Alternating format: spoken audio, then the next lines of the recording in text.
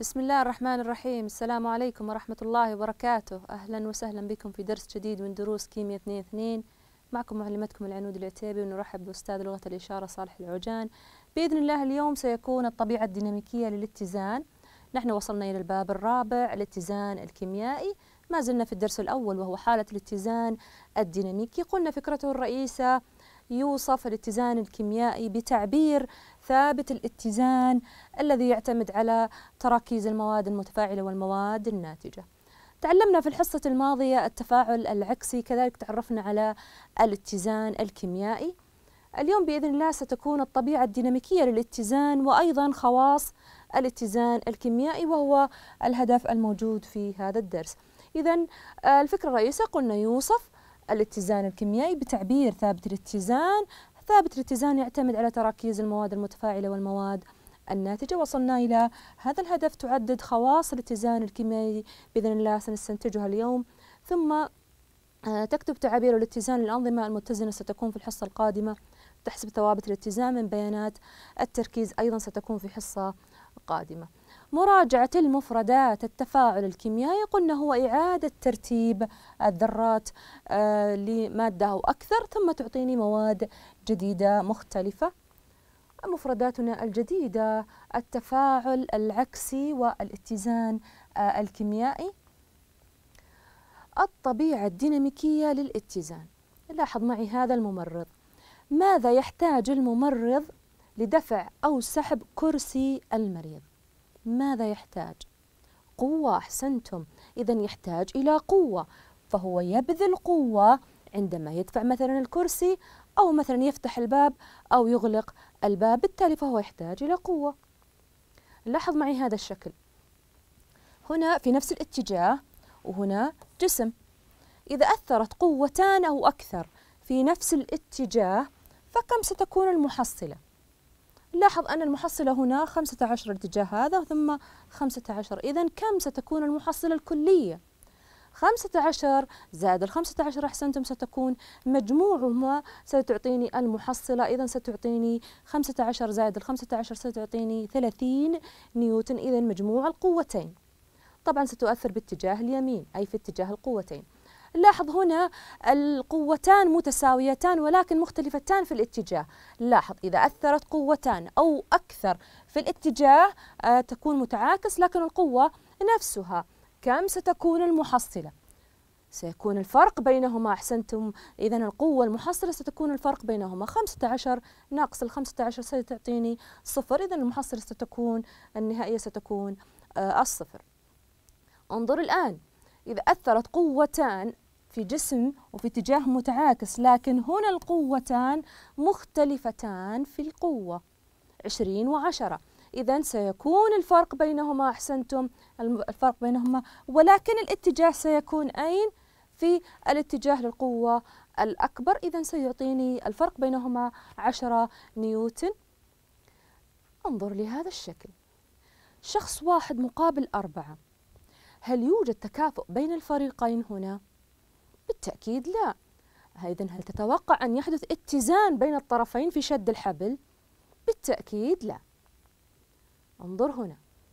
ثلاثة مقابل ثلاثة. متى يصل الاتزان في لعبة شد الحبل؟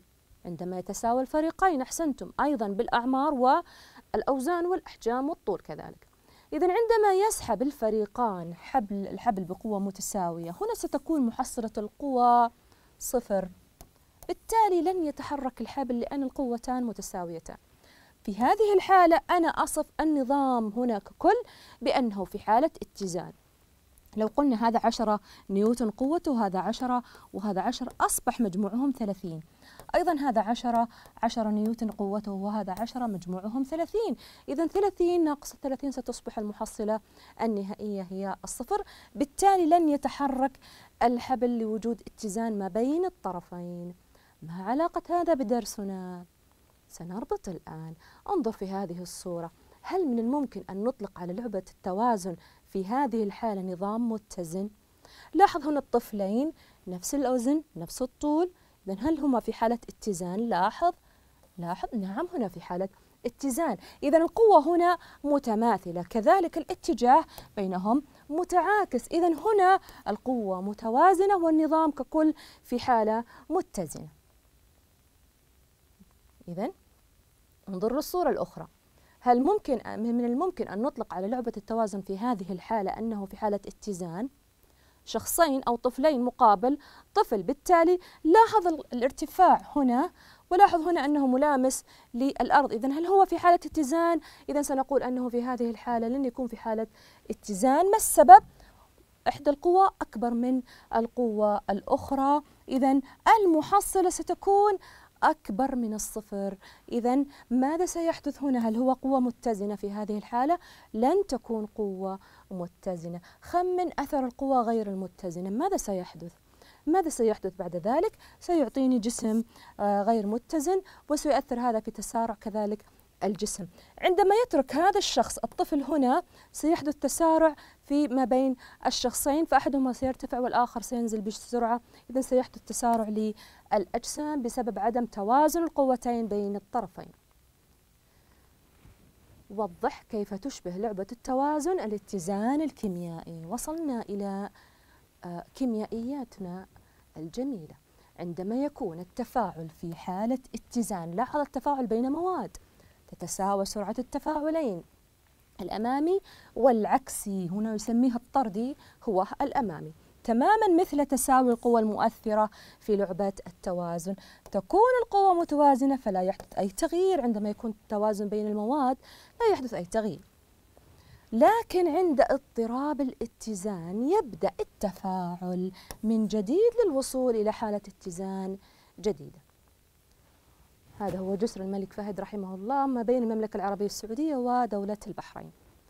فلنقول أن هنا آه، عشرة آلاف سيارة في هذه المدينة بالطرف آه، المملكة العربية السعودية. طرف البحرين مثلا نقول أنها خمسة آلاف سيارة. كيف سنقوم بعملية التوازن بين المدينتين أو بين الدولتين؟ فلنفرض أنه من المملكة العربية السعودية يخرج 500 سيارة في الساعة الواحدة. ومن دولة البحرين للمملكة العربية السعودية يخرج 500 سيارة في الساعة الواحدة. إذا هنا حصل توازن ما بين ما بين الدولتين في الطريق. لا علاقة لنا بكم يوجد في داخل الدول آه، بداخلها. إذا هنا تم الوصول إلى حالة من الاتزان بحيث يتساوى عدد السيارات العابرة العابرة للجسر في الاتجاه الأول. كذلك في الاتجاه المعاكس. إذا ستكون هناك توازن 500 سيارة مقابل 500 سيارة. إذا سيحدث هنا اتزان. ليس من الضروري هنا أن يحدث أيضا تساوي في عدد السيارات في مدينتين أو في الدولتين. انظر لمثال آخر. يجدف شخص في قارب نحو أحد طرفي النهر بالسرعة نفسها التي يدفع بها التيار القارب نحو الطرف الآخر. هو يجدف والقارب يدفعه. هو يجدف والقارب يدفعه. إذن هل سيتحرك أساسا القارب؟ لن يتحرك القارب. هل تتوقع أن يكون هنا في حالة اتزان؟ القارب لا يتحرك بالنسبة لضفتي النهر. سيكون هناك قوة دفع وشد لكن نعم هو في حالة اتزان ديناميكي فيزيائي.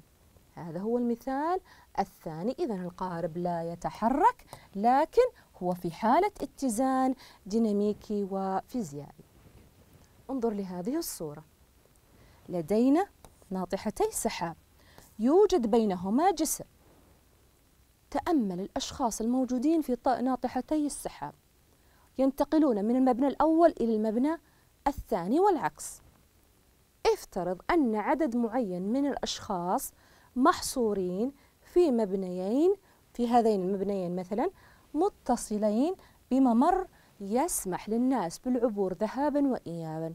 كيف سيكون هناك حالة اتزان أو كيف سنضع هنا حالة اتزان؟ كيف سنطبق الاتزان هنا؟ بنفس طريقة السيارات.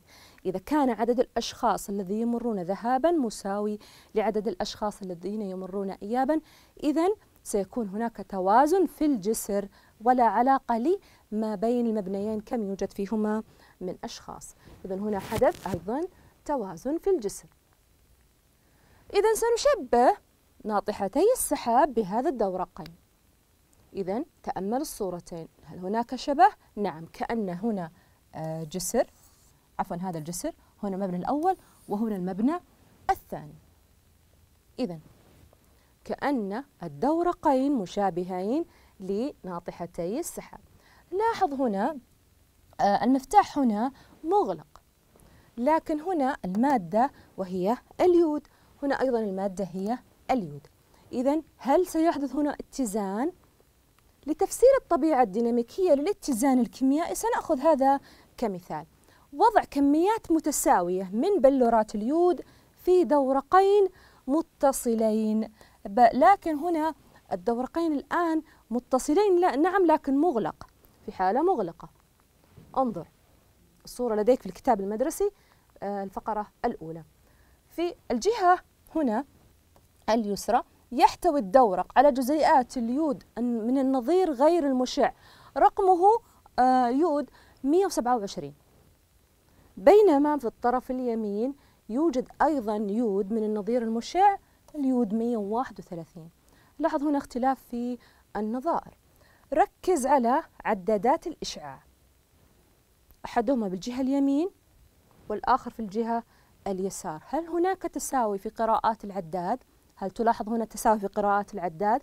طبعا هنا ستختلف إذا تبين عدادات الإشعاع أن هناك فرق في مستويات الإشعاع في كل من الدورقين لاحظ هنا مغلق لم نفتحه إلى الآن إذا لن يكون هناك الآن توازن ماذا يسمى التفاعل الأول؟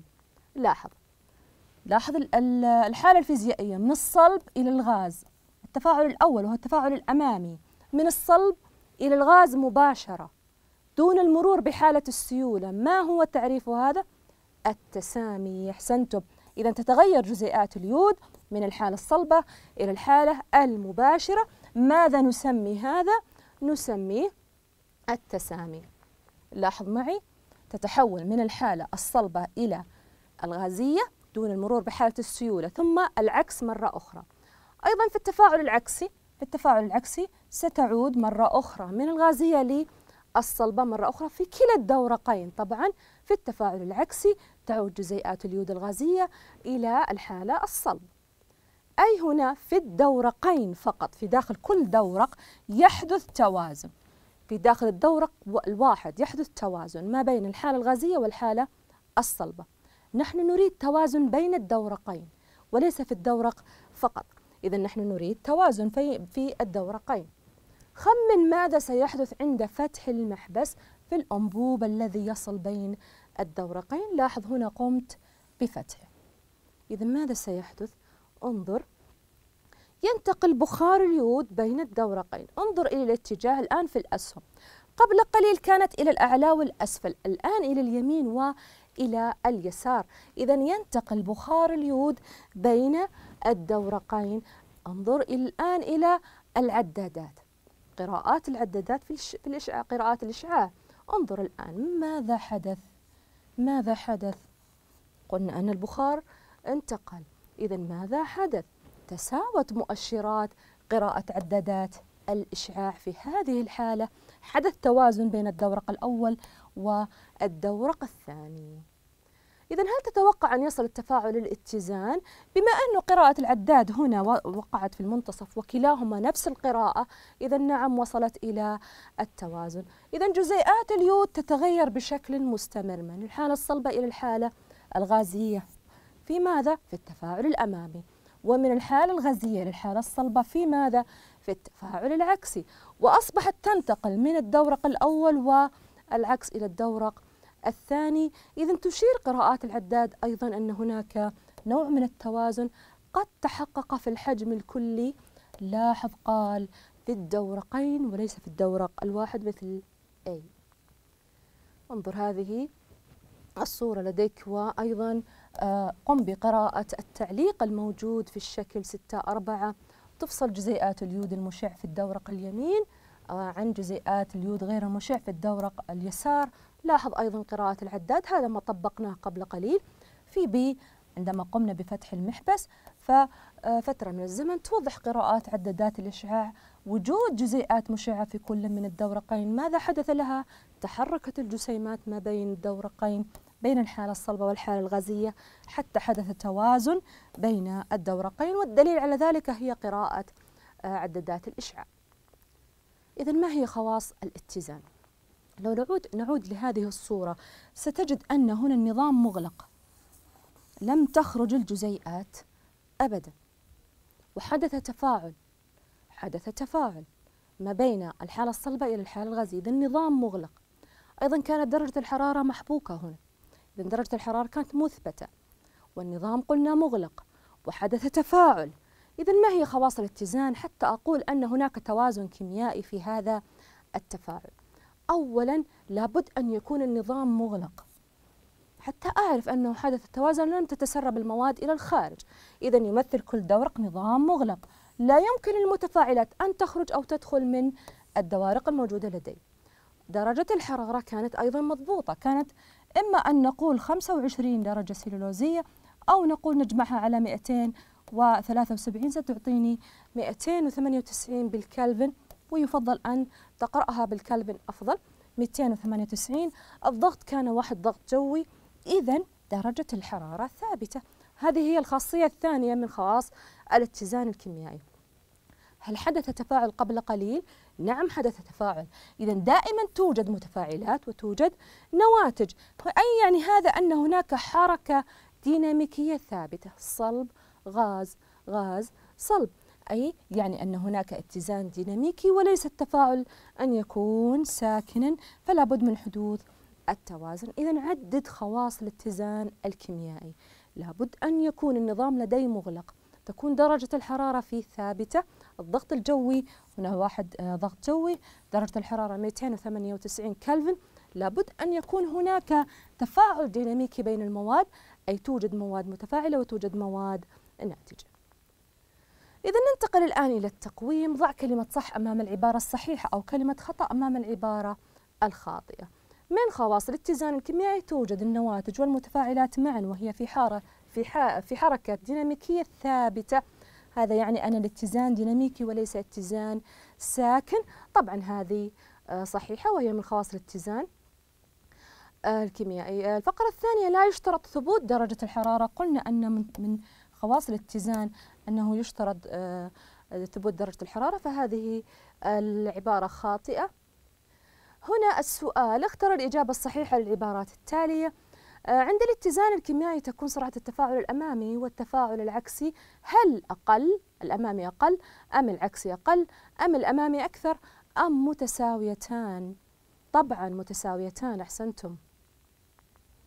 انظر الآن السؤال الذي يليه. عند الاتزان الكيميائي لا بد من تغير درجة الحرارة. طبعا هذه خاطئة. النظام مغلق التفاعل ساكن ضغط عالي. إذا نستبعد الأولى والثالثة. الضغط كان ثابتا فهذه نستبعدها. إذا الإجابة الصحيحة هي النظام مغلق. إذا ماذا تعلمنا اليوم؟ تعلمنا الطبيعة الديناميكية للاتزان كذلك خواص آه الاتزان. في سؤال لديك في النشاط المنزلي لخص ما حدث في الدورقين. لخص واكتب ما حدث في الدورقين ثم بعد ذلك استنتج خواص الاتزان الكيميائي واكتبها. إلى هنا طلابي نصل لنهاية درسنا لهذا اليوم. شكرا لكم لحسن استماعكم. السلام عليكم ورحمة الله وبركاته.